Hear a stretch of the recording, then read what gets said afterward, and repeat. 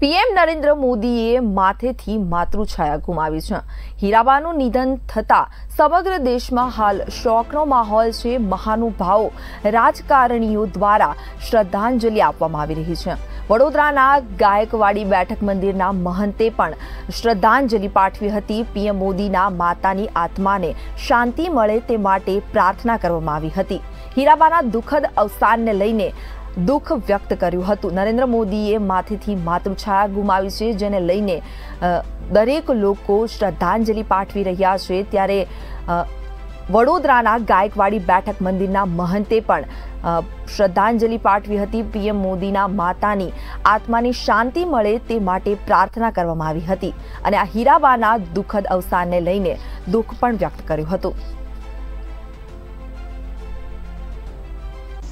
श्री कृष्ण वंदे जगत गुरु आज पूरे भारतवर्ष के लिए जो भारत के सबसे लाडले प्रधानमंत्री हैं श्री नरेंद्र भाई मोदी, उनकी माता का, माता आज देवांगत हुए हैं।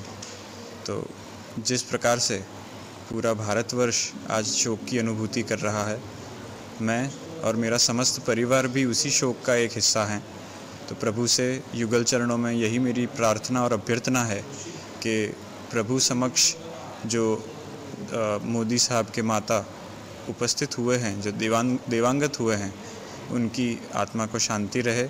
और मैं आप सभी से यही अनुरोध करता हूँ कि आप उनके लिए एक दो मिनट का मौन व्रत धारण करें और प्रभु से यही विनती करें कि जिस प्रकार से नरेंद्र भाई की माता उनका एक एक दीपक की ज्योत की तरह काम करती थी उसी प्रकार से उनकी कमी नरेंद्र भाई के जीवन में न खले इस प्रकार से आप कार्यरत रहें शुभम भवतु આજે ખૂબ જ દુઃખની ઘડી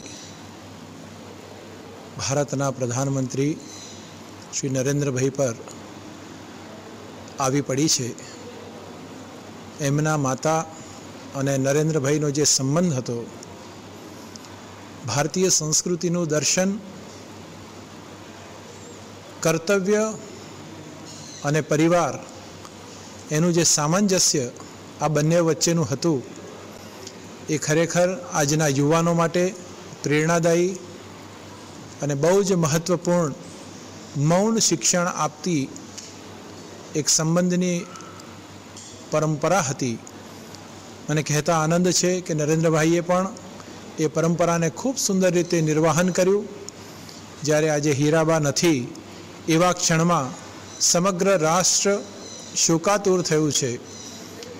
હું તો પ્રભુના ચરણોમાં એવી અભ્યર્થના કરું કે આ પરિવાર પર આવી પડેલી તમામ વિપદાઓ અને આપદાને સહન કરવાની શક્તિ પ્રદાન કરે અને સમય સમય પર માતાના કાર્ય માટે એ હંમેશા તત્પર બને એ જ અભ્યર્થના સાથે વિરમો છે.